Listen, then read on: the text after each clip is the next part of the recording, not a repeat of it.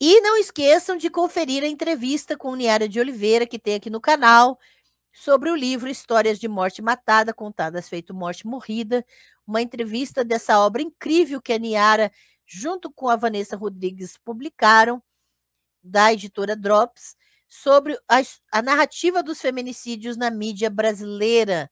Muita pesquisa, gente, e fundamentação.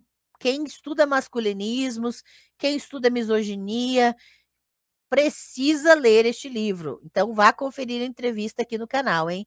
É só colocar o nome da Niara que você já vai achar a entrevista na rede de busca aqui do YouTube.